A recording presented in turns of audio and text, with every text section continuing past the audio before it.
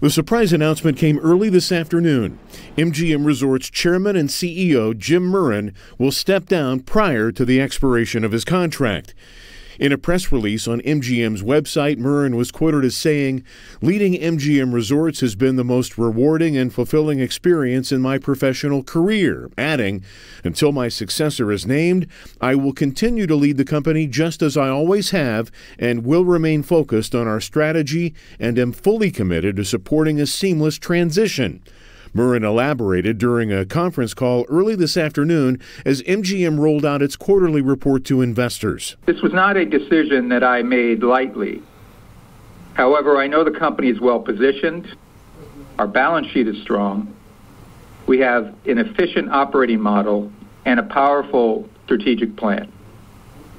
Our growth areas of sports betting, Japan, and entertainment have never looked better our bench of management talent is deep. Among his accomplishments at the helm of MGM Resorts, providing oversight on the construction of the massive City Center project, and he helped spearhead the $400 million T Mobile Arena project. We have a professional sports team here. I believe we'll have a hockey team that we can all root for. He talked about the future of the city in this 2015 interview with our Jeff Gillen. I'm feeling really uh, very constructive, very bullish, very excited about Las Vegas. We're the largest employer in the state, so we feel very strongly connected to a community that is growing. Murren is also getting credit for helping MGM Resorts maintain its place as a leader in diversity and reducing its consumption of energy.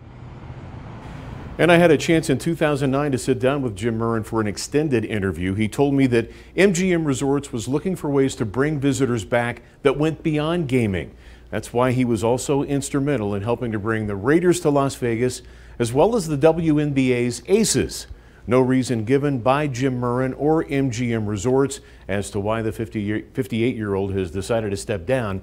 MGM has, however, been restructuring its management over the past year, but uh, again, we uh, don't have an official reason at this point as to why. You know something? Back in 2009, even back then, he said there's no reason we shouldn't have an NBA franchise in Las Vegas. yeah, and I mean his decision to be T- build T-Mobile, yep. and then the Knights come, open the door, well, open and, the door, and then he got to deal with, sadly, the MGM angle of the Las Vegas massacre down on the Strip yeah, too. True. So